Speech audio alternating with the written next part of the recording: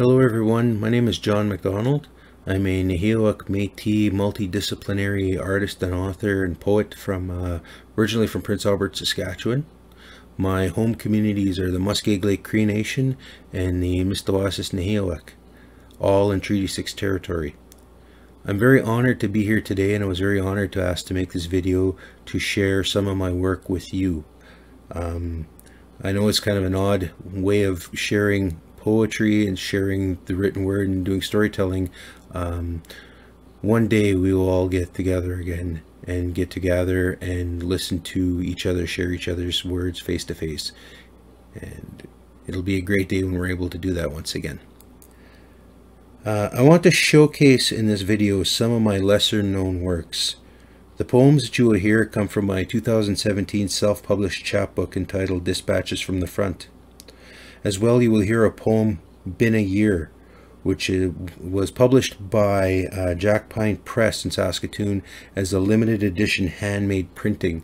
Uh, it was only a run of 50 of this particular little slender book that just contains the one poem.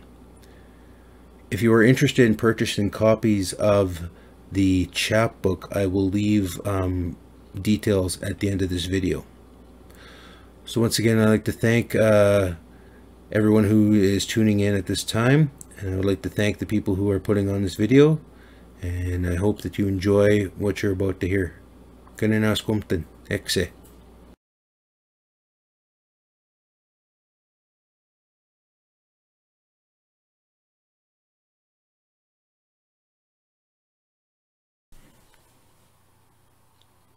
The 17th of March. I wear a black hoodie a flat tweed cap, a pin.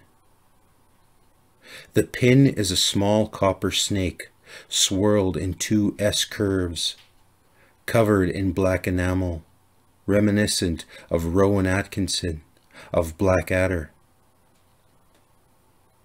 I'll never wear green on the 17th of March. My knowledge of the past prohibits it. How can one revel in alcoholic bliss when one knows of the Celtic pagans burned alive, the potato famine, the coffin ships, the troubles, Bloody Sunday, the Easter of 1916?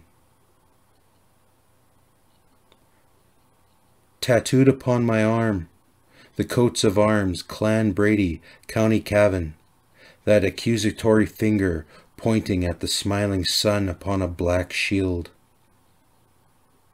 Black like the snake pin I wear on the 17th of March.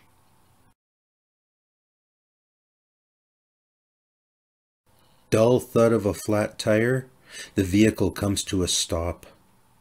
The dust from the gravel road catches up with car as the young man opens the driver's door, sits, takes a deep breath, inhaling the dust and wondering if this breath will be among his last because of his brown skin and long hair and the way he's dressed and whether or not the owner of this house will step outside with a rifle because he felt threatened or because that is the story he will tell the cops.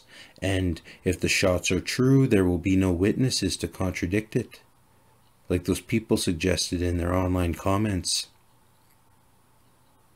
the young man's heart begins to thump inside his chest, thumping like the flat tire that put him in this situation. Does he drive on, keeping the flat tire thumping, keeping his heart thumping, keeping the drum inside the school gymnasium from thumping the way it does when they wheel the casket out towards the hearse? So many thoughts fly through his head as he tries to remember to smile and to be polite and to say, Good afternoon, sir. I'm sorry to bother you, sir. Keeping his hands visible at all times, not looking at the house or the vehicles or the outbuildings too closely or too long.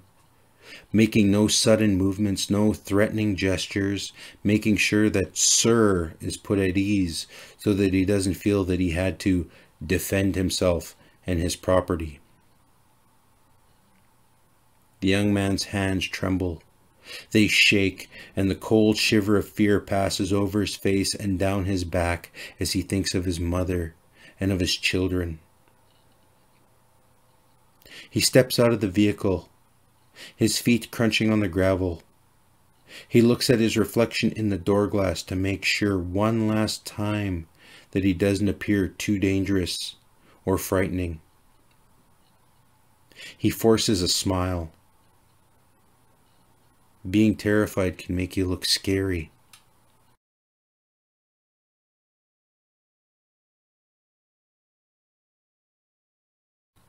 Wandering the empty halls of my old high school, having those deep introspective thoughts that you're supposed to get from watching a John Hughes film. Feeling nostalgic, melancholic about a place that caused me so much grief. To be 15 again.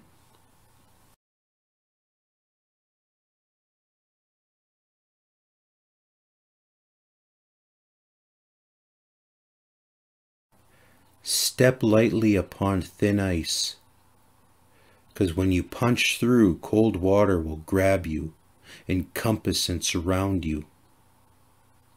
When the moment overtakes your senses, try very hard to retain your presence. I am not the vulgar agitator, immature in manner, miscreant I was when I was 20. I've put that all behind me. I didn't win the war. I merely signed an armistice with the enemy. Wounds still open, feel the emotion, flood the holes, soften the ragged sides like sand on the beach.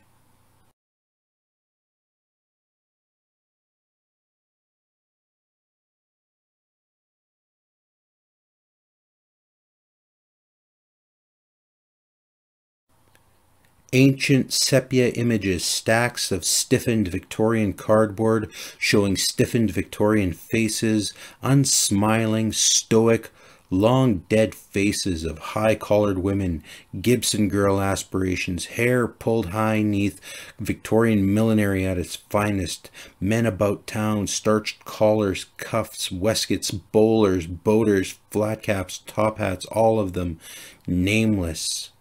Lifetimes and stories all lost, save for these boxes of silent cabinet cards, these cartes de visite waiting in vain for someone to claim their ancestry.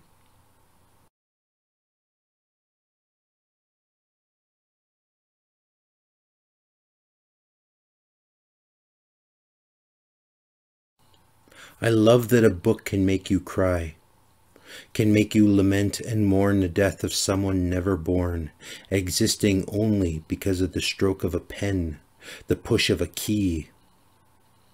The death of an idea upon a page touching deep inside you. One day I shall write something to make you weep.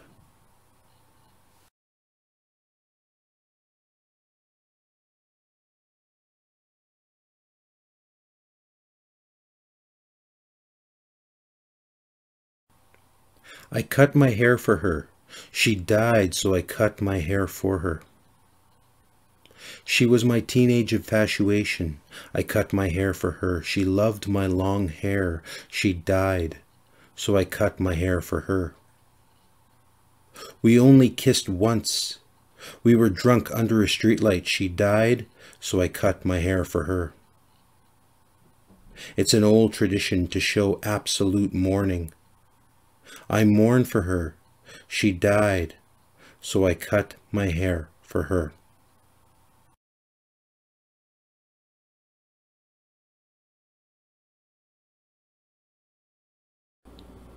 It's been a year. My hair has grown back. Not as long as it once was, but it's getting there. Soon there should be enough to braid, to wrap and hide but not quite yet. She's still dead, the one for whom I shaved my head in grief. Her ashes lie scattered at the bottom of a northern Saskatchewan lake.